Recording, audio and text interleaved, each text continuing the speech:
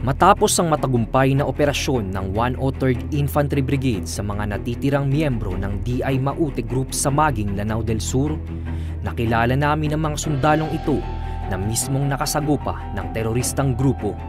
Sila ang mga sundalong kabilang sa pinagsanib na puwersa ng 5th, 51st at 55th Infantry Battalion ng 103rd Infantry Brigade ang 51st Infantry Battalion sa pangunguna ni Lieutenant Colonel Fernando Paya-Paya ang naatasang maging main effort ng brigade na nagsagawa ng clearing operation matapos ang close air support ng Philippine Air Force.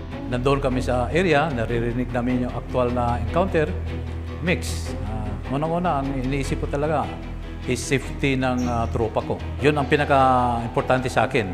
Nasa mismong battle area naman noon sina Captain Ray J. Meneses First Lieutenant Mike Aris Reyes at First Lieutenant John Mark Tayaban na pawang ground commanders ng 51st IB. Sa aming naging panayam sa kanila, buo nilang inilahad ang bawat detalye ng kanilang naging karanasan sa pagtugis sa prominenteng teroristang grupo. Ako yung mag-main effort. So, meaning kapag main effort kasi, uh, ikaw ang papasok sa ground na hindi ka na magmamaneuver kundi frontal attack yung gagawin mo, yan yung unang-unang mararamdaman mo. Uh, takot, kaba, parang ganon. Pero mawawala yan kung ang mission mo is yung thinking mo, direct ka sa mission or yung goal mo. Yan yung encounter ko na gera talaga kasi halos buong maghapon din siya. Tapos yung description ng area namin, yung target namin, high ground siya. Siya yung pinakamataas dun sa lahat. So medyo mahirap din siya or medyo alanganin din na makuha. Pero nakuha naman namin dahil sa yun nga yung mga maneuver na ginawa namin. Mixed emotions na siya eh. Syempre ang unahin safety talaga. And then doon na, na kailangan i i-build up mo yung sarili mo na gamitin mo na yung mga tinuro sa ng school.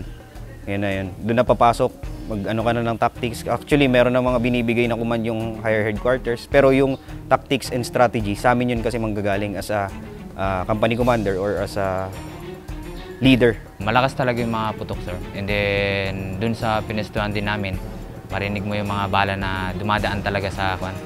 Kung hindi ka talaga mag-drop is, kahit nakadrop ka, marinig mo pa rin yung mga bala na dumadaan talaga sa ulo. And then, ang bali ang pinagkubiran namin dun, sir, is mga kwan lang, mga damo, matataas na damo. Ang pinilit ko dun, sir, is kumal kumalma, sir. And then, isipin yung tropa kung saan sila i lagay para hindi kami maunahan ng kalaban. Ayon pa sa mga ito, hindi rin naging madali sa kanila ang engkwentro dahil na rin sa mga makabagong kagamitan ng mga kalaban at tila kabisado na rin nila ang jungle tactical warfare. Kabisado nila yung area. So alam nila kung saan sila mag exit kung ganito yung mga senaryo. Kasi katulad din namin, meron din yan silang ginagawa ng mga drills. Parang mga ano rin, fire, fire drill, earthquake drill alam nila yan, yung exit route nila in case na maka-encounter sila ng tropa.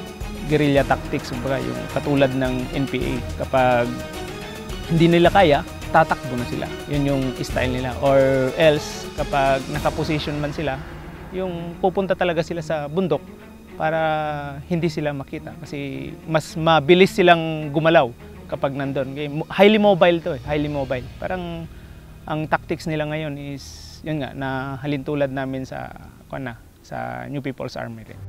Gayunpaman, matagumpay na na-clear ng 51st IB Ground Commanders ang kanilang designated mission area mula sa presensya ng mga kalaban. Pag officer kasi ang unang iniisip is yung tropa, yung kasama nila. Uh, paano ba i-direct yung mga to? Uh, paano ba sila mag-guide? Yun kasi yung unang-una sir. Bali, nawala na talaga yung cancer yung ganun na pag-iisip kasi focus talaga sa kung ano yung mission, sir.